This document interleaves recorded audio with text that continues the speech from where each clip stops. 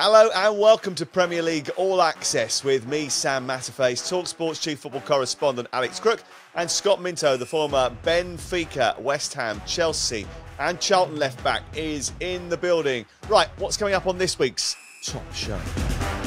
Darwin Nunez bows out Liverpool and sends a message to Jurgen Klopp. I saw him described as an agent of chaos.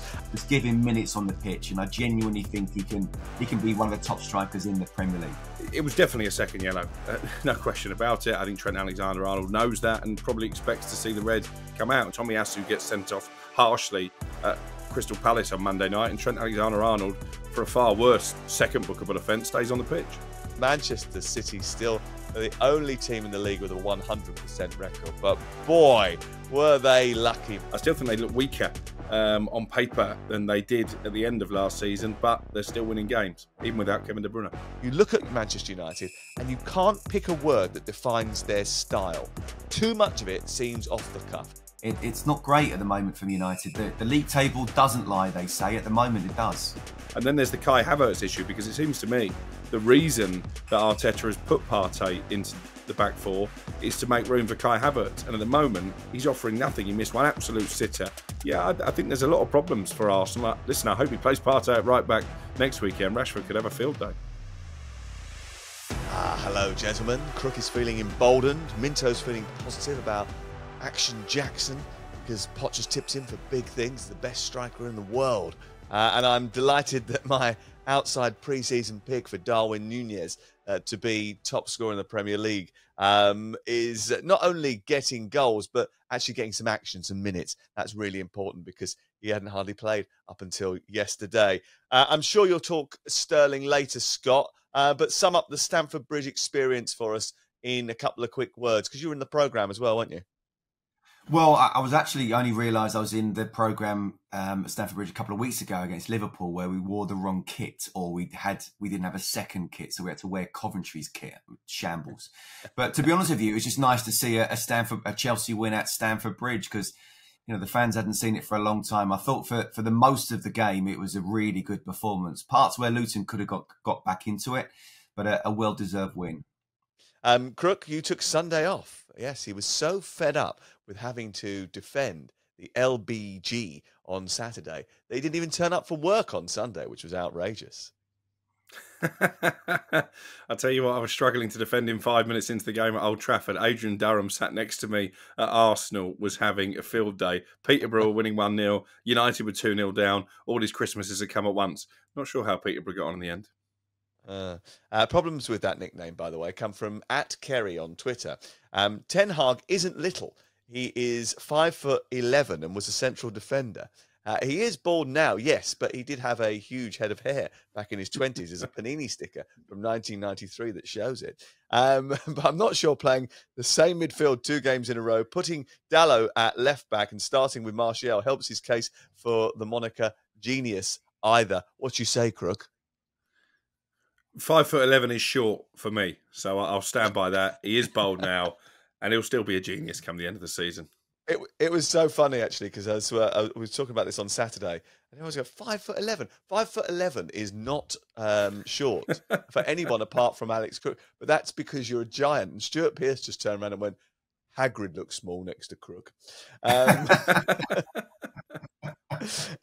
um, United about to turn down a bid for Harry Maguire, who's uh, been linked with several moves. I've got a, a phone call about this uh, on Sunday night.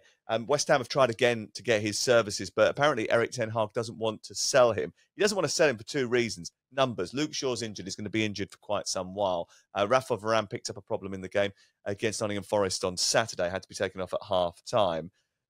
Maguire was quite happy to take a pay cut, as far as I understand it, because he wants to play. But West Ham aren't the only club that are interested. Lots of things being suggested at the moment. I think there's a sort of game at play here where Maguire and his agents they want to get him uh, a move because they want him to play. But at the same time, if Manchester United are going to offer him the chance to play on a more regular basis, then he's quite happy to stay. He was going to take a pay cut to go to West Ham United. But look, now you've got Cucurella um, being offered to Manchester United to solve their left back problem, and Maguire going the other way. That's been muted. Sven Botman is injured, so they might have to do Newcastle go into the transfer market. Um, look, the other options are going to Turkey, where Besiktas, Fenerbahce, and Galatasaray all need a central defender and have shown an interest, and also Saudi clubs too. And that window is open till the middle of September, so there's still a chance for him to move if indeed he doesn't get the opportunity to do so between now and Friday. But it's going to be a busy, busy week, I think, Crook, for, for you and I. It's interesting. You mentioned the left back situation. Uh, Manchester United's list probably includes every left back ever to have played in the Premier League, apart from Scott Minto, um, with some of the names that I've been hearing. But yeah, it is going to be a busy week, Sam. We're uh, we're double shifting, aren't we, or, sharing the load on on deadline day? Looking forward to it. I think a lot of clubs have still got business to be done. Yeah, looking Sorry, forward to uh, it. hello, who's this? uh, yeah, little ball genius.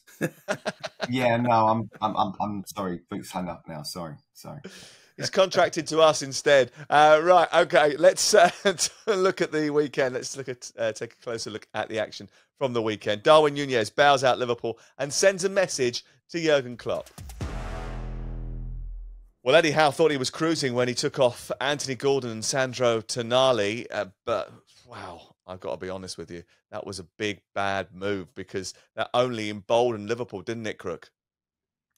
Yeah, this is a bad defeat. You know, when when you're playing against ten men, you've got a one 0 lead. You just want to see the game out. You're at home. The crowd are invested. Your assistant manager is shushing Jurgen Klopp. That came back to haunt Jason Tindall. I think this is a really bad defeat for, for Newcastle and a real early season setback. Yeah, massive setback because they were leading for a long time, down to ten men. Uh, Liverpool. Did they push hard enough for the second goal, uh, Scott? I think they tried to. I think to be fair, you know, people sort of say, look, when you're down to 10 men, you should beat them easily. But uh, an organised 10 men, and let's face it, the stats in for quite a lot of that second half, Liverpool weren't even trying to shoot on goal, let alone actually get a shot on target. So it's not easy to break down. Um, I was surprised Anthony Gordon came off, to be honest with you. I thought he was terrorising down the left hand side and, and Liverpool's right. So I was really surprised, and I said that at the time. Um, but but you know, look, our mate Darwin Nunez, we've we've always tried to champion him, haven't we? And he's a defender's nightmare. And and in a way, Newcastle probably trying to chase that second goal, it was perfect for him. Yeah, two absolutely sensational strikes from Darwin Nunez. He, I saw him described when I was reading some of the reports of the game as an agent of chaos, and he has got that in his locker. I mean, Scott, he, he he has got those big finishes in his game, as well as you know being a penalty box nightmare. Yeah, that's right. Look, before the Chelsea Luton game, I was on the breakfast show Friday, and um, and now actually asked me about Mo Salah, and I said, look, I don't know what they're going to do with money wise, but they've got a lot of firepower there, and they have we haven't even seen Darwin Nunez, who I think is a look. He's big, he's strong, he's quick, he can get in behind, and once he gets that extra half a yard, you ain't catching him. It's just a question of getting his shooting boots on, and to be fair to him, he he was absolutely clinical on that form. Sam, you know your shout of or outside bet, should we say, of, of Premier League's top scorer is is a good one. I, have championed him. I want to see him playing. He played for Benfica. He was brilliant there. Just give him minutes on the pitch, and I genuinely think he can he can be one of the top strikers in the Premier League. Um, one clean sheet in 14 Premier League appearances for uh, Newcastle now. That's quite damaging, isn't it? And with Sven Botman injured, that could be a real problem for them. Yeah, that's a big blow. He, he was such a, a, key part of their success last season. I wonder if that's going to have knock on effects actually for Jamal Lascelles. He himself, I think, has been in talk with uh, clubs over in Turkey about a potential move between now and deadline day. I guess they can use Dan Burn uh, as a centre back. I think that was a, plan for this season anyway. Now they've signed Lewis Hall, and I think Matt Targett actually is quietly impressed in pre season. So maybe Burn will transfer on a more regular basis to his traditional position. But yeah, if, you, are conceding goals, it just puts the pressure on, doesn't it, for, for your strikers to deliver? Although I guess you could say that's always been the Newcastle way, isn't it? if you go back to the Kevin Keegan days, it was always about outscoring the opposition. So maybe Eddie Howe's just taking a step back in time. Uh, that's more of what the way that Liverpool have been playing recently, though, isn't it? They've been sort of conceding goals for fun, conceding the first goal in the game on a regular basis and having to fight back. And they did it again yesterday. But they did rely on their goalkeeper, Alisson. He made more saves in the Premier League than he's ever made in a single game uh, before. His stop from Almiron was absolutely terrific. And it was a, a key point in the game, Scott. Yeah, it was absolutely superb. If Newcastle had got that second goal, then Liverpool weren't coming back from that. They, they weren't. And it was really interesting to hear Jurgen Klopp after the game and him compare, you know, there's been some fantastic games in his reign. And he said even with the Barcelona game where they came back from 3 0 down, they genuinely believed they could do it and they were playing at home. Honestly, I don't think there are many. And, and you, interesting you bring out the, the clean sheet stats of Newcastle, but look, the way they play, especially there with the fans, they're big, they're strong, they're intense, they're physical, they give away those little fouls that uh, not only stop the game, but are really annoying. They go out to annoy the opposition in the way they did with Trent at the start. And he was lucky to stay on the pitch, even though it was a initial foul in the first place where he got yeah. the first yellow card. Not many teams will go there and get all three points, I'm telling you, because they are an absolute powerhouse at the moment and so difficult to play against. And that's why I think Jurgen Klopp went – a little bit overboard when he said how important that that result or performance was for them. It wasn't necessarily a great performance, but it was an incredible result. So let's unpick the, um, the, the sort of difficulties around the yellow cards and the red cards. Right. Let's start with with Trent Alexander-Arnold because you brought him up. Anthony Gordon was having a field day. He is annoying. Right, for, for a start, he is annoying. Little niggly fouls, little elbows, little pushes here and there. He is, but he's really effective, and he was incredibly effective for Newcastle United uh, on Sunday afternoon. And Trent Alexander Arnold didn't really know how to deal with him because he was trying to come in field, trying to play his football, then realised, oh no, I can't do that. He made a terrible mistake for the goal, uh, which Gordon then uh, put away. Uh, and then there was the incident where he got booked for throwing the ball away after being pushed off the pitch by uh, Gordon. And then moments later, he then committed an offence which, in any other circumstances, would have been a second yellow card. Now, I think John Brooks, the referee, realised that the first yellow card was probably a little bit OTT. As a result of that, he then didn't book him. But that's not necessarily right, is it? If you're going to take this stand when you're going to punish someone for dissent, then the next yellow card, if it is a yellow card, has to be a yellow card. Otherwise, it was pretty pointless booking him in the first place because it's not really a deterrent if everyone knows you're going to get a free one afterwards. Yeah, undermines what the PGMOL have been trying to do, and we have seen. We talked about it a lot privately, Sam. Uh, an increase in the number of bookings in matches. It was definitely a second yellow, uh, no question about it. I think Trent Alexander-Arnold knows that, and probably expects to see the red come out. And you talk about key moments in the game. Clearly, that was a key moment because if Liverpool go down to nine, they're not going to come back and win, are they? So uh, I think Eddie Howe is right to feel aggrieved about that. And again, and I know you've been was going to say bleating on, but I mean, it's a bit harsh over the weekend about the inconsistency when it comes to decision making. That is another prime example. Tomiyasu gets sent off harshly at Crystal Palace on Monday night, and Trent Alexander Arnold, for a far worse second bookable offence, stays on the pitch. Yeah, I'm not necessarily sure I would equate the two because ultimately, it, I, I, don't think the Tomiyasu one was harsh because it was a team yellow card. It was, you know, it was nearly 40 seconds or something, wasn't it, by the time that um, it was 31 seconds, 23 seconds of, of Havertz delaying a throw in, and then eight seconds of Tommy Tomiyasu. And Tommy Tomiyasu just happened to be on the end of it, so he got a yellow card. And then he did commit a second offence, which again was slightly pulled the, the, the, defender back, but it's a yellow card. So, you know, that that is going to happen. But you're right, it should have happened to Trent Alexander Arnold as well. I mean, ultimately, neither of the first yellow cards should have been given, and then we wouldn't have been in that situation. But that is the diktat from the Premier League. Don't change your mind halfway through. It's like the penalty situations that we've had this weekend. This idea that if you slide in and the ball hits the, the, your backhand or your the hand that's supporting you, that should not be a penalty. And then John Egan gets a penalty given against him. It's an absolute disgraceful decision. However else is he supposed to put his, his, his arm? Uh, what about the red card for Virgil van Dijk? Uh, yes or no? Watching it in in real time, the first thing I thought was sending off. Scott, sending off. Crook, sending off. What's, well, what's the point in asking you? You're a Man United fan, of course you're going to say that. Um, I don't care if he gets the ball or not. Um, he takes the man, which is a, a, problem. You can't do that in law. Um, and ultimately, um, that sort of defence has been outlawed for 25 years. So the, the, the, he got the ball thing is not right. Um, did he did, did he make a foul? Yes.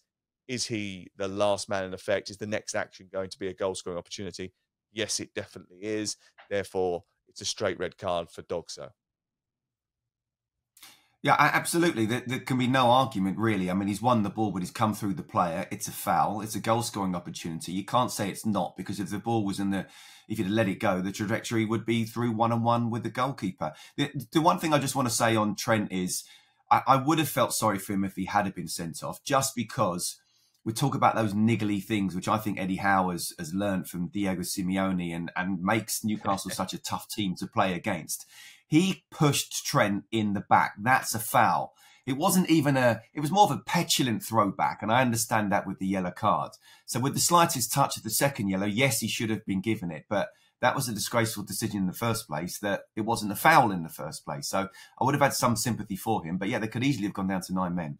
Yeah, well, I remember uh, breaking the story that Eddie Howe had been in Madrid whilst he was on uh, sabbatical from uh, sort of uh, his his managerial career, and everyone was thought, oh, brilliant! He's gone to watch Real Madrid, and he's having a good look at the way they they formulate their training sessions.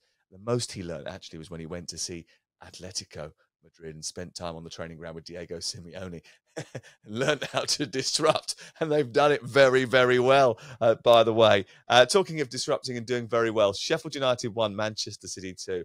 Oh, Manchester City still the only team in the league with a 100% record. But boy, were they lucky because they too were disrupted, roughed up, had a real tussle at Bramall Lane, Crook. Yeah, fair play to Sheffield United. Um, I, did their game at Forest uh, the week before, and I said they showed character and, and, spirit in the second half of that game, and they showed it in abundance in this one. Such a cruel twist at the end with Rodri coming out with yet another important goal for Man City. They weren't at their best, Sam, but as you say, they are the only team in the league with a 100% record usually if you're going to catch City cold, you do it at the start of the season. So I think this is pretty ominous for the rest of the Premier League.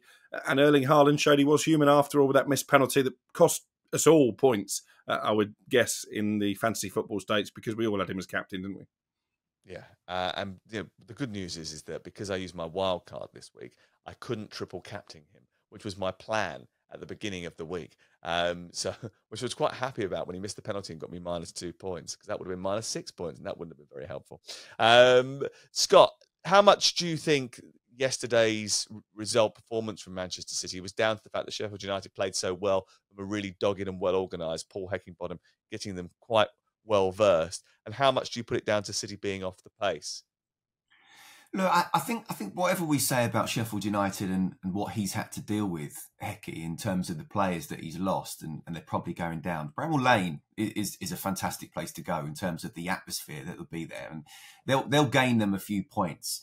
It's on the box against the best team. They are giving absolutely everything for it, and City probably is human nature to go look. We're, we're, we're going to a team that we think we're going to beat quite easily, and probably will go down then it can level up a little bit. Look, City was still by far and away the better side and in control of the game. But Sheffield United tactics were spot on. Try and stay in the game as long as possible. See if you can nick an equaliser down the end. Yes, you still need to rely on City missing chances, and Haaland missed not just the penalty, but a few others as well. Um, and you could definitely say it's really harsh in them to, to, to concede that last minute goal from Rodri. But that's what champions do. They find a way to win, even if they're not at it. And that's another three points. I still think once the sort of international um, or the Champions League sort of comes in, that's where we'll see from the mental side, this side of Christmas, uh, how Man City get on if they are to drop points. If they're not to drop points from sort of September to Christmas, then pff, they're going to absolutely run away with this. They do look as if they're missing the incision of Mahrez and the guile of uh, Gundogan. Um, um, do you think they'll be busy in the transfer market between now and Friday? They, they've signed Jeremy Doku, haven't they? And he was straight onto the bench on Sunday. Yeah, I think he'll bring that guile that you're talking about. I think Matheus Nunes inevitably will happen. Gary O'Neill, Wolves manager, said it himself after their win at Everton that once Man City come calling, it's very difficult uh, to persuade a player to stay obviously they're going to have to agree a, a package with Wolves. I would expect uh, Tommy Doyle on loan at Sheffield United actually last season to move in the opposite direction. Um, and I think that probably will be it. I think if they get the Nunes deal done, as you mentioned, Doku already, then that will conclude the summer business. I still think they look weaker um, on paper than they did at the end of last season, but they're still winning games, even without Kevin De Bruyne. So, so if they sign Matheus Nunes, which is what we think will happen now, what does that mean for Calvin Phillips? I wouldn't be surprised if he was to move um, between now and, and uh, the deadline. We talked, myself and Jim White, a couple of weeks ago, that Liverpool w- were showing some interest and that possibly City were willing to send him out on loan. I think if that's the case, you're going to have half the Premier League who want to sign Calvin Phillips because you have to think back to how pivotal he was, not just for Leeds as they came up from the Championship and established themselves for a couple of years in the Premier League, but for England, that European Championships as well. I think, like Maguire, I think Phillips, in a year where there's a major tournament at the end of the season, he needs to be going out and playing. The fact City looks so light at the start of this season, and Phillips still isn't getting any minutes. I think it's a pretty big indication that he's not going to do a Jack Grealish and he's not going to prosper in the second season under Guardiola. We'll see what happens with him. Burnley were beaten at home by Aston Villa. They, their wait for a win goes on, but this is only their second game of the season because their uh, middle game was actually postponed because of the trip to Luton uh, being uh, pushed back because of renovation work. Uh, Villa recovered well from their opening day, drubbing a Newcastle. Two back-to-back wins now. Diaby played well, shrewd signing, got a goal, uh, but Pau Torres made another mistake for the goal, didn't he, Scott? Yeah, he did. And look, it's uh, it's going to be a fast learning curve for him. Um, we know Tyrone Mings is out for a long time, and and look, he's a good player. He's oh, he's certainly very good on the ball, but he's going to have to learn in terms of the Premier League, the pace and intensity, and the lack of time you get, and just the reading of the game, just to be, you know, it, it looks like he needs to sort of go into the gym for a couple of weeks and actually strengthen up and realise what the Premier League is all about. But look, what I would say is Villa have bounced back really well, and they do look strong, and they are looking as if they're a team that I believe will, will win a European competition this year. And also, if they are able to combine it, you know, eh, it was interesting because Martinez was out, wasn't he? And, and I think that's a big drop to Olsen. Yeah. And yet in this particular game, it didn't matter too much. Um, and if Ollie Watkins gets injured as well, how are they going to do there? So there's key players they need to keep fit. But Burnley were taught a lesson into how to counter attack and what the Premier League is all about. And I'm really pleased for Matty Cash as well. Not many fullbacks get two in a game, so pleased for him. Ever done that yourself? No, not you get two in a season. And oh, I tell you what, I resemble, I mean, resent that remark. um, it was his Sorry, 100... Crookie, you played, and, and Crookie, you played for who was that? I played for the sirloin of beef. He played for a couple, a couple, a couple of uh, a couple of charity games, yeah, in the sirloin of beef down in Southsea. Um, and he was He's uh, often, he, he, was often de- deployed as my central defensive partner, which is really weird. And he would uh, he, he would just rampage up the field and just do what he liked. He just couldn't be couldn't be bothered. And I'd be like, "Where where did you go? Where did you go?" He's like, well, it'd be know. like Hagrid just, just running up the, the, the, the, field, wouldn't he? Just moving everyone, blocking everyone out the way. Oh, and uh, no, you gave a foul about ten seconds ago, Crookie. Stop the game, pick up the ball, and come back to your position. Um, yeah. Uh, let's talk about Burnley because um, listen, have they made too many signings? Is that possible to do? The team sheet comes out, and you're like, "Who are these people?" I, I spoke to my Burnley mate um, uh, yesterday, and I said, "What was your what's your takeaway from the game?" And he went, "Way too open, got done in midfield, taught a lesson on the counter attack. Aston Villa just a little bit sharper and quicker than us, and there's just too many newbies. I mean, Delcroix, who played at left back, um, it was his first appearance for Burnley, signing from from Belgium football, and he had to. had a really tough time with Matty Cash, didn't he? I mean, it was a it was a baptism of fire uh, for him. But you look at that team and you just think that doesn't even look like the team that came up last year. I know that Beyer was injured yesterday. They've lost Tella, obviously. He's gone back to Southampton and now gone on uh, to Leverkusen. Um, but you know they took off Manuel Benson at half time to try and stiffen up um, one of those sides, but it just didn't. It just didn't work. And I just think, can you? You're Vincent Kompany. You've got loads of credit in the bank because you won the, the, the championship with a brilliant style of football. But ultimately, coming into the Premier League is slightly different, and you probably need just a little bit somewhere, a little bit more experience. I'm looking at that team, and the Premier League experience that you're getting from that team is Dara O'Shea, who played probably a handful of games in the Premier League for West Bromwich Albion, and Sander Berge. That's about it, really, isn't it? I mean, there's not Connor Roberts, obviously. Sorry, I should have mentioned him. That's that three players out the starting eleven that have played Premier League football before. I'm not sure that's enough, especially with the age profile of the other players that are in that team, Scott. And Sam, you, you look at the, the fixtures coming up as well. They've got obviously they've got the, the Carabao Cup, but they've got Tottenham at home, Forest away, which I think would be a big one, Manchester United at home, and Newcastle away. You know, they need to be careful. You know, at the end of that, that they, they might not still have a win.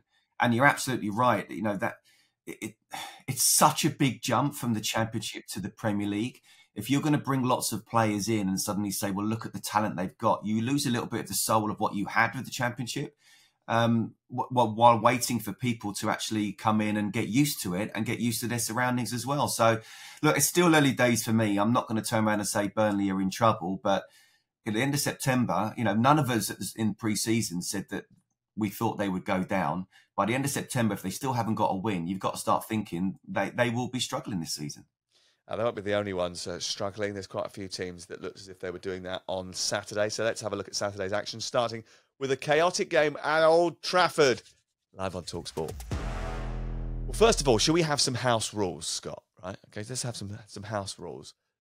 Crook, you're not allowed to get grumpy. Okay, it's just a football match. We don't want you getting all upset with us and not talking to us.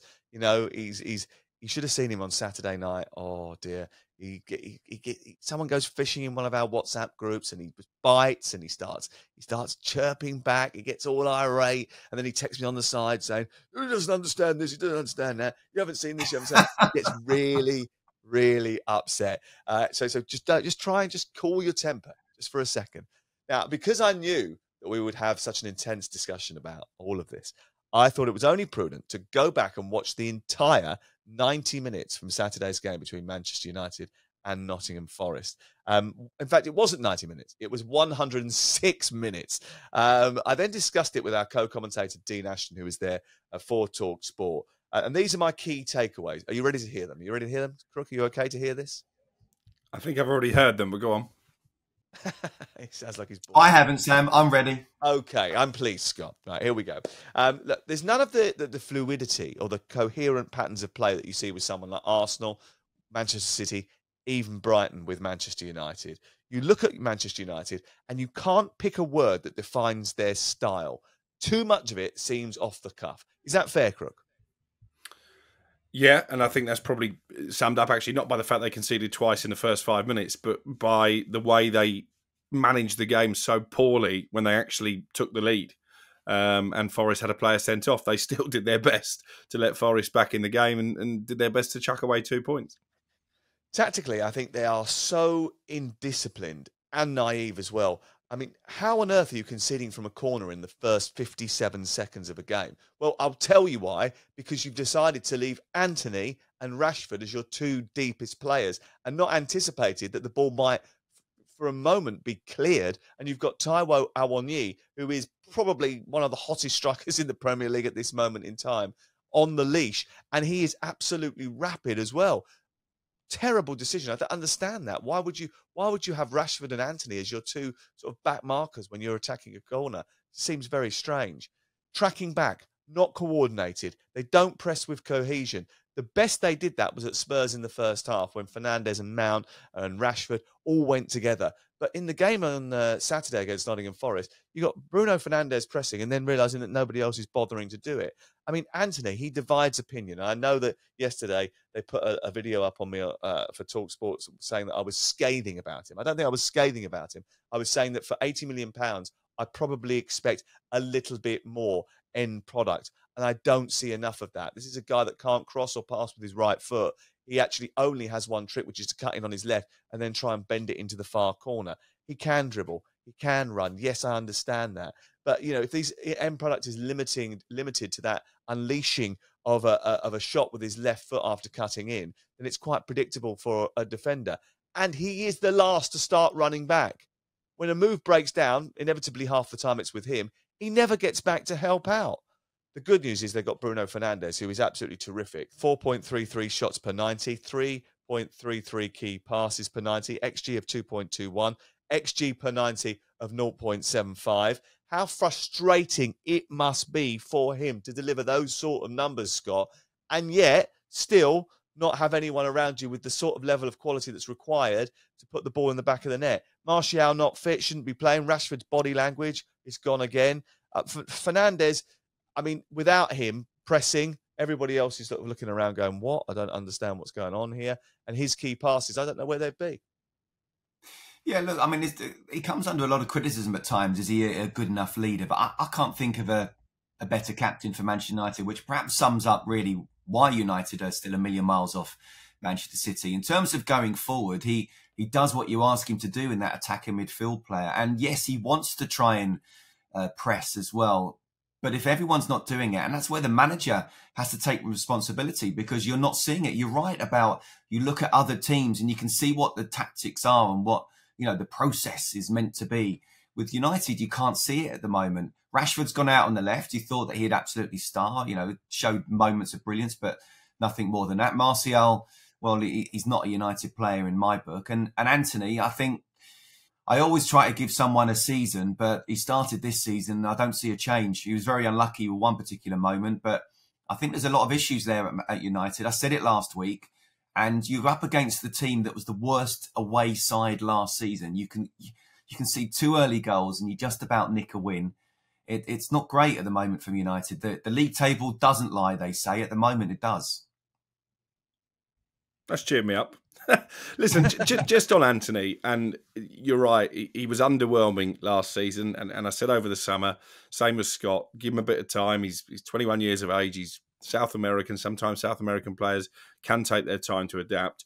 What I liked about Antony at the weekend, as much as he was he was poor in possession at times, and his decision making still wasn't great. And yes, lack of end product, but at least he still wanted the ball. At least he doesn't go hiding. He's clearly got good character. He's got a good mentality, and he wants to succeed. I think he will get there. So I'm going to stick my neck out. I think. I think by the end of the season, hopefully, hopefully a lot sooner than that, we're, going to be talking about a different player. Well, when he was at Ajax, I thought he was terrific. I mean, he was he, he was a, a, great player, and I think Erik Ten Hag sort of thought he was getting that level of player when he when he bought him in. But ultimately, it's very different level of quality from the uh, Dutch league to the Premier League, and you have to have a little bit more guile. You can't be as one-footed as him and be worth 80 million quid. I'm sorry. I mean, unless you're Bernardo Silva, which is, you know, you're constantly producing performance after performance, and he's not doing that just yet. But like you say, look, uh, he's only 21. Let's see what happens with him. Let's hope that he ends up producing over the course of the season. But let's talk about Manchester United's overall situation here because Erik Ten Hag has got to be accountable for this, right? Because he is the one that sets the team up. He is the one uh, that uh, sends them out with a tactical plan. He is the one that picks the players and signs the players. It has to improve pretty quickly, Crook, because otherwise Arsenal will gobble them up next Sunday. Yeah, this is a problem. Um, I'm at the game on Sunday for your for your Sunday session. Can't say I'm particularly looking forward to it from a United perspective because their away record uh, against the the top six, the so-called Big Six, is lamentable.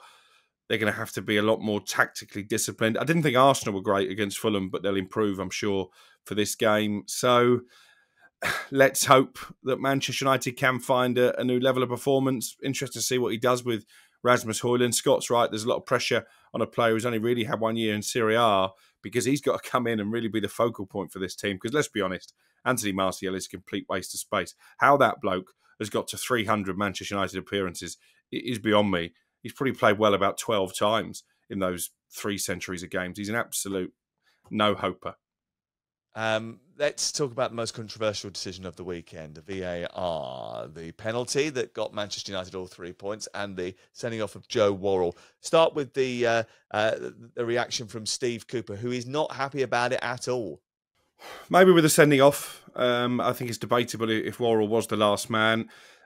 A lot has been made of the penalty. Some people have said that Rashford dived. I don't necessarily see it like that. I think he's running at full pelt. I think there was contact. I think when you're running at that speed, there is enough contact to go down. I think based on what we've seen over the last couple of years since VAR was introduced into the Premier League, I think it was a penalty. I certainly don't think there was enough for VAR to overturn the on-field decision.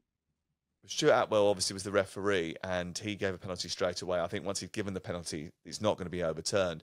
I've watched it from several different angles. I've slowed it down to, to half speed. I think when you look at it in slow motion, it does look like a dive. But actually, if you watch it at full pelt, and I've watched it from a different angle, the other side, the Sir Alex Ferguson stand, um, and you see him running into the box, the reverse angle, and the, the way that Danilo sort of comes across him, because there is a little bit of contact, it does immediately take his legs away. I don't think there's enough for him to go down as dramatically as he did. I do think he's overplayed it. But I think once that decision has been given by the referee, there's no clear and obvious evidence to overturn it, which is the key factor, really.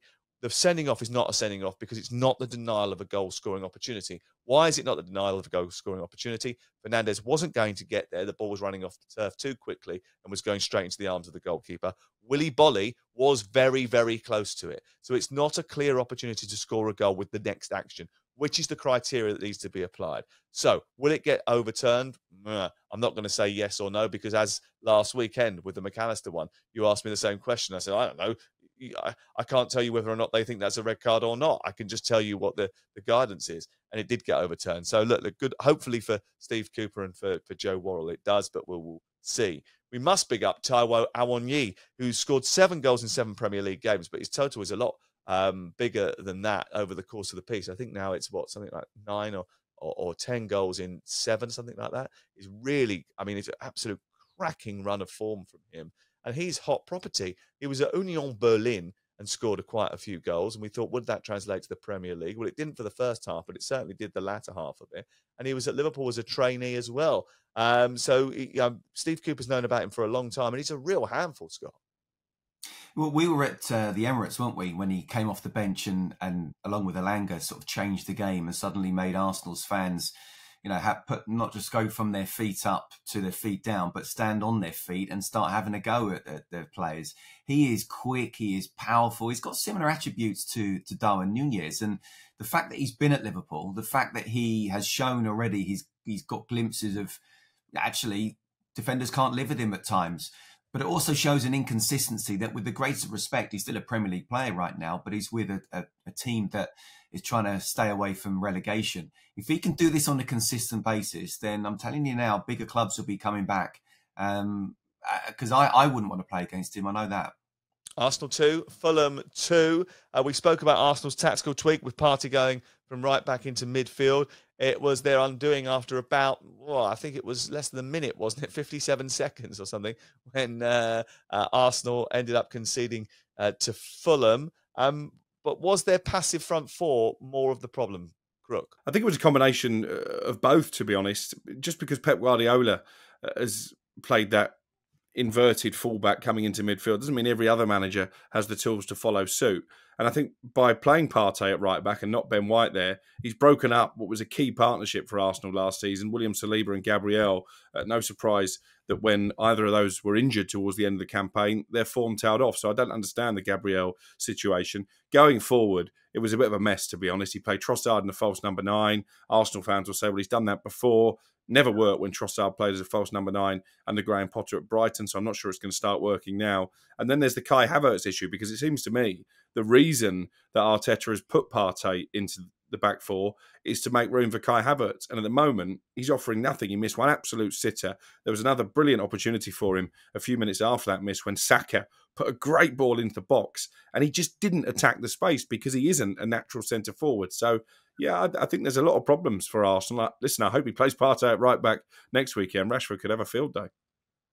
Yeah, what, what's happened to Gabriel as well? He was the mainstay of the defence last year, and by doing this weird tactical tweak, he seems to uh, Arteta have sort of peed him off too. Is he overcomplicating it, Scott, from your point of view, or is this a guy who is trying to actually make this team better by using different tactical innovations? Yeah, I, I, that's exactly what he's trying to do. I mean, he would have worked under Pep where he'd have won a title and Pep's still looking to try and do something different. And you, a lot of people would be saying, well, well, why? Because you've just won the title. And he's saying, well, that's what we've got to do to try and stay ahead of the rest. I don't actually have a problem with Partey playing right back because generally speaking, Arsenal will have the majority of the possession and therefore you want that kind of extra man in midfield. But I do agree with Crookie. He's almost playing there to play Kai Havertz. Now, Sam, we've spoken about Kai Havertz on many occasions. He scored some fantastic, important goals for Chelsea, but never really cemented himself as a as a proper first team Chelsea player. And and the fans weren't unhappy that he left. That is a problem. In terms of Trossard, I don't know why he didn't stay with um, Nketiah. Nketiah, I think, just needs a run of games. His movement at the start of the season was absolutely brilliant. He just needs that bit of confidence. And yeah, I get the fact that Trossard can play there, but play Nketiah, play your goal scorer. That's what we've been saying they needed. Instead of buying a Kai Havertz, buy a, a proven goal scorer. Nketiah is the best finisher they have at the club. Yeah, and he's already scored goals this season. They've played three games. He scored two goals. He had two cracking chances against Crystal Palace. Yes, he didn't finish them. I totally get that, but he's finishing more chances than anybody else in that team. Um, so give him give him a run, give him an opportunity. His goals to game record, his goals to starts record is quite startling. It's pretty impressive. Just on the tactical tweak and the, and the Thomas Partey thing. Uh, everyone's saying, "Oh yeah, but, but Pep Guardiola did it, so that's why Arteta's doing it." Pep Guardiola didn't do it. He, he, well, he did do it. He doesn't do it anymore. he learnt after about four or five games actually that that wasn't really the, the best way of doing it, bringing the inverted right back into the centre of midfield. He actually, towards the end of last season, abandoned that probably about March time. He started it in February, and by March, he was already moving on to something else. And that something else was pretty simple. It was a real quick switch. He basically put Walker back at right back. Stones was playing in central uh, defence and moving into midfield because Guardiola actually realised that coming from the right side and into the centre left you more vulnerable to the left winger. And actually, if you're the central defender and you want to get into central midfield, it's a quicker route to go five, six yards forward than it is trying to travel from that right back position, getting back into the middle, and then trying to get back out again when you lose the ball. So Arteta actually hasn't followed through the whole process of what Guardiola actually did. Probably be better having Ben White travel from centre back into midfield because Ben White can do that. He played there for Leeds United. No, no, you're right. But at the same time, if you're going to play Kyle Walker and you always want to be playing Kyle Walker, he's not your your typical go into midfield. That, that type like, he left pardon? him out. He, he was leaving him out. He was leaving Walker out to play Stones at right back, and he was playing an extra extra central defender. And Stones was coming into midfield. Then he changed it, put Stones back in the centre of defence, left out a central defender, and brought Walker back in. For that reason, that you want Walker in the side. Yeah, absolutely. You want Kyle Walker in the side, and he left him out at different times, but you want Kyle Walker in the side. And the majority, I mean, I'm surprised didn't. Was it the Champions League final, or I can't remember what it was where he didn't play, and I was really surprised that he didn't. But the bottom line is, yes, you're right. It's much easier to to step in and step out from the central position. But if Rico Lewis is going to play, I bet you he'll be the one coming into midfield as well, rather than you know John Stones. It, it's just with Pep, it's just a complete change. He's always wanting to keep uh, opposition managers guessing. He's always trying to do something different. And yeah, absolutely, Arteta's one step behind. I don't see a, a, a, problem. There are individual mistakes that they're conceding goals. They shouldn't be conceding in the first minute. You're wanting to actually make sure that you have as much possession as possible. And, and maybe we'll see in a couple of months Ben White stepping up from from centre half into centre midfield. Let's let's wait and see. Um, it'd be a big game, though, wouldn't it? It'd be a really big game on Sunday. Arsenal against Manchester United. Looking forward to that. Um, Fulham did well. Their shape was really good at times. I think you know Palhinha makes a massive difference to them when he's he's playing, and I think he, they'll they'll have a reasonable season. I think, uh, but I don't know if they'll do any business between now and the end of the window. But they're certainly uh, in good shape. They play on Tuesday night live on Talk Sport two against Tottenham Hotspur at home in the Carabao Cup.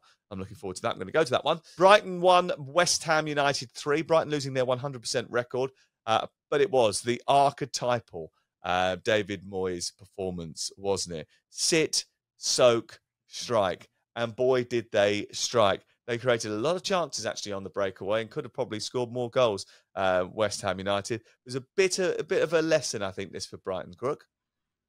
Yeah, maybe just dampen some expectations after a really good start of the season, but then you take into account actually they played Luton and Wolves, two of the sides who are going to be scrapping against relegation. This was their first big step, big test, and they failed it. I mean, you, you look at the stats, and actually Brighton played well, uh, but as you say, when it came to the counter attacks, they just couldn't deal with West Ham. I felt Adam Webster in particular had a really torrid afternoon. Not sure why De Zerbi changed the goalkeeper.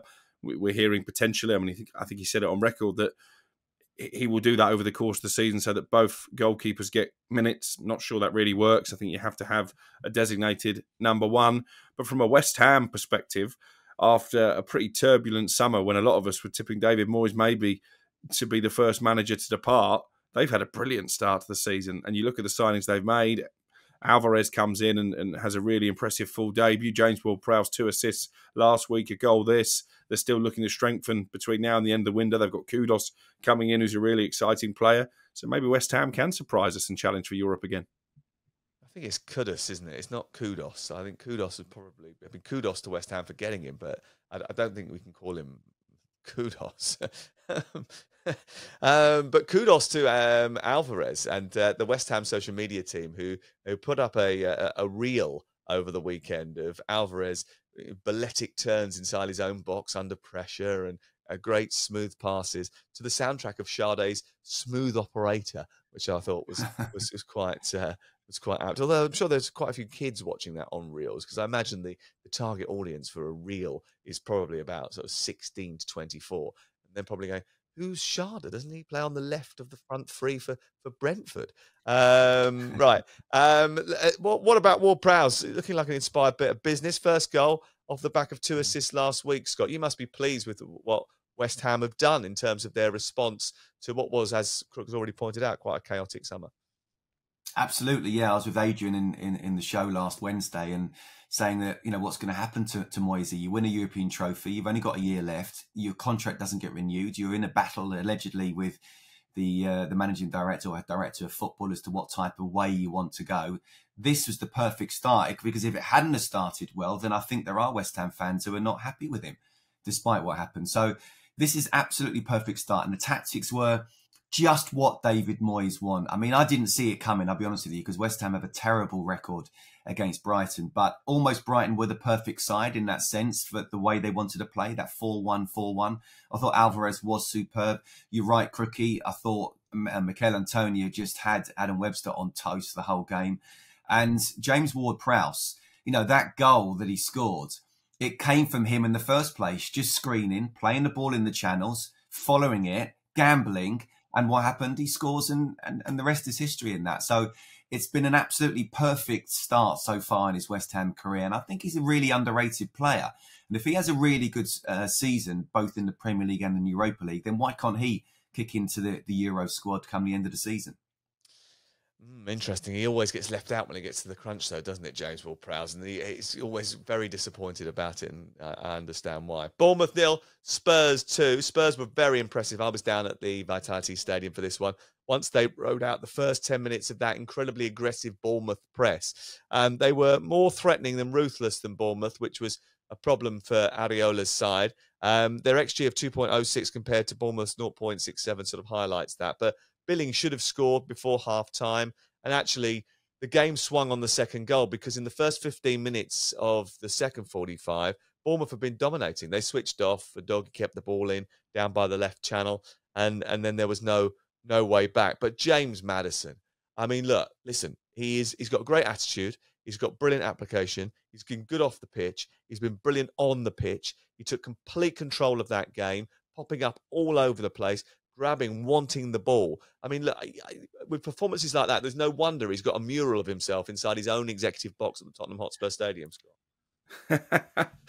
yeah, listen, I, I, maybe went a bit bold in the uh, the preview show that we did at Wembley by suggesting that there were comparisons between James Maddison and Gazza, but I meant more that he's taken the number 10 shirt. He's the type of flair player that Tottenham fans will love watching, and he just looks like he was born to play for Spurs. And sometimes when a player leaves a lesser club and, and joins a, a, bigger club, the, the weight of expectation can affect their performances. He's done the opposite for Maddison. I think he's playing just about as well as he has done at any point in his career.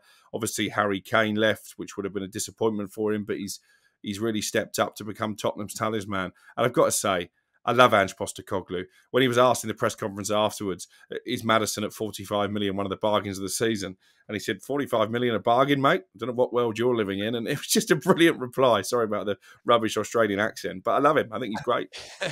Scott, I don't think we should allow uh, Crook to emigrate down under anytime soon.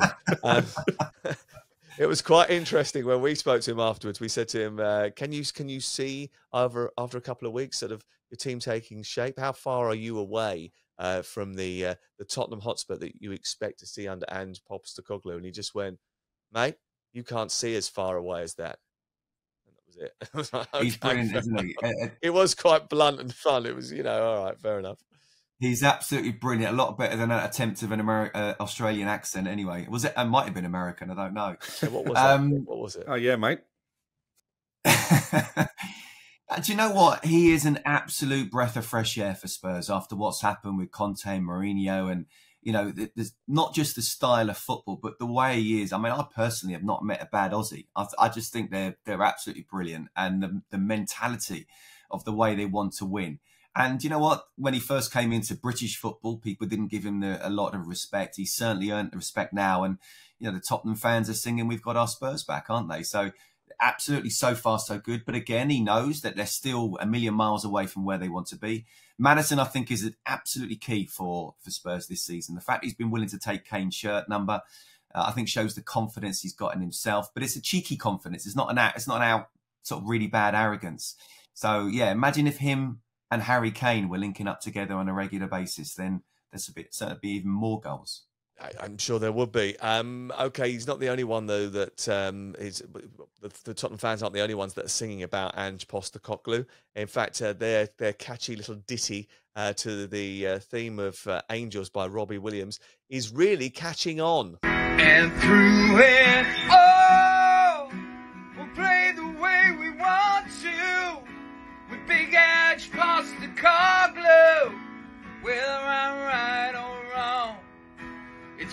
big and so you can keep your Pochettino, Conte and Mourinho, and even Christian Gross.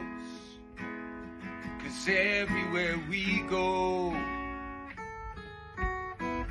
I'm loving Big Ange instead. Guess I'm a Spurs fan now then. There's something quite tragic about that, about Robbie, who, who's, I'm sure, a, a Port Vale fan, a season ticket holder at Chelsea, and a, a box holder at Manchester United, uh, singing for Spurs. I mean, come on, Rob, Robbie, you're not a Spurs fan. No, uh, he's, he's not. He's a, I think he's a Manchester United fan, really. Uh, but he's yeah, he's a good lad and he's good fun and um, he's obviously um, impressed the Tottenham fans uh, with that. Uh, but it's the only thing I, the only thing I will say about it, right? And I'm listening. I'm all for it. I think it's great, and yeah, yeah, yeah, he'll catch on. Great. They've played three games under this guy, right? And he's now like the new messiah. It reminds me a lot of like Chelsea fans reacting when Antonio Conte um, took over Chelsea and they beat Manchester United. And everyone was booing Mourinho when he came back with United to, to Stamford Bridge. And I was like, guys, this guy's won three titles for you. This guy's been here three minutes. Let's just be a little bit cautious. I know it's been a bad time for Spurs fans, so and those guys did nothing for them. So I understand why you're investing in him, but at the same time, let's just calm it down a little bit. Let's not get too exciting. If it all goes wrong, that song's out the window very, very quickly. Uh, right, let's get to uh, let's get to the rest of uh, Saturday's football, and um, we we should probably talk about the Toffees who are in a sticky patch.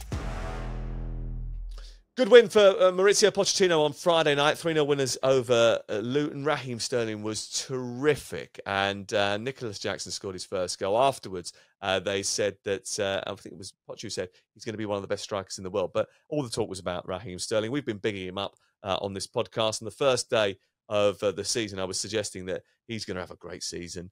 Um, because he just looks in much finer fettle. And the fact he'd done that weird Clarks advert uh, and it shows how comfortable he is in his own skin. Um, he's happy, he's relaxed, and that means good season, I hope, for him. So, congratulations to him and to Chelsea. Uh, Brentford won, Palace won. Uh, Jeremy is rather uh, innovatively written on our running order. Great goal from Schade. That's about it. Um, we probably should mention the goalkeeper Flekken, who's actually played quite well uh, recently for, for Brentford. He was a little bit unlucky with the Andersen goal um, I thought. But he's, he's, he seems a good acquisition. They haven't noticed the absence of David Raya just yet, but we'll follow that keenly. Um, we should focus on Everton because their worst start in 33 years. Booed off. Uh, we made the point last week on the Premier League All Access podcast that this is Everton. They get rid of a manager, they bring a new manager in. That new manager is the Messiah. Then they're woeful again. Um, then they sack him. Then they get a new manager, and it's rinse and repeat, and it happens over and over and over again. But they need goals. Will Beto provide the goals and the focal point that they need, Crook? Well, what was weird about this game is for two teams who are shot shy, there were so many chances. You know, it, it could have ended up 3 3. Shots, nine on target, seven big chances, but just the one goal. Yeah. Um, so I guess if they can create, keep creating Everton and, and Beto can come in and, and prove himself in the Premier League, and that will give them a little bit of, of confidence. What would worry me for Everton is you target certain games over the course of the season. They've blown two of those already, losing at home to Fulham and Wolves, two teams that you're going to be competing with to stay in the Premier League. I think is a really poor start. I'm delighted for Gary O'Neill and uh, delighted for Kalajdzic as well, who had that horrible injury. He's almost going to be like a, a, new signing. It was the most fortuitous of goals. I'm not sure what part of his anatomy it hit. I'm not sure he knew it either. But it feels like a big win for Wolves I think Everton are spending a lot of money on Beto. It's a big gamble. Yeah, and do they have to gamble at this stage, Scott?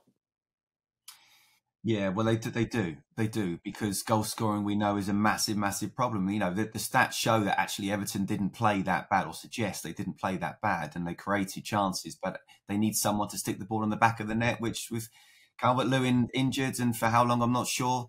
You know, even we can't rely on him throughout the whole season, so they absolutely need to gamble and it's a shame, but you know, you, I, I, think for the goal, Jordan Pickford's got to come out and claim that one you know, and, and you're wanting your one of your senior pros to be absolutely on it, and the goalkeeper, the cross comes in. Whatever you do, if you can't score, don't lose. Keep that clean sheet.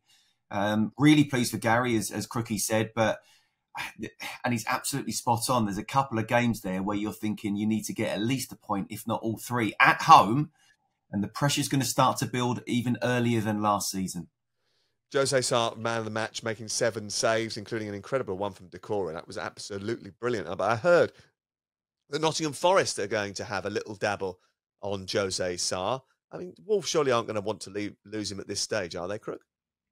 No, I think they want to get him tied down to a new contract. Actually, there, there, was strong interest from Forest earlier in the window. I think at that stage, Wolves, with their financial issues, were, were thinking maybe we should cash in. But I think if they sell Nunes, as looks likely, then I don't think they're going to Self Sá again, not to a relegation rival, not at this stage of the window. Yeah, um, Sean Dyche, I think, was a little bit concerned about the way his team have started this season. But uh, look, at the end of the day, it's still a long way to go, but they've got to find goals from somewhere. Maybe this Udinese striker, Beto, 25 years of age, six foot four. Brazilian got 10 goals last season, 11 the season before, is already off and running in the Coppa Italia. This campaign may be the answer. Everton fans will certainly hope so, although I don't think there'll be uh, holding their horses just yet because they'll be thinking to themselves, well, we've seen all this before, and it does seem to be sort of history repeating itself. But that's it from us. Uh, we'll be back on Thursday afternoon previewing all the weekend action. Remember uh, that there's Carabao Cup football live on Talksport and Talksport 2 this week, Tuesday and Wednesday. Scott and I are going out together on Wednesday night. We're going to Chelsea FC Wimbledon. We're looking forward to that. In fact, Crookie's coming to that as well. That's got disaster written all over it. All three of us being at the same game. That's it. That's that, that's going to be a problem. Um, and uh, we'll be back on the podcast on Thursday. Make sure you rate and review and tell everybody about it.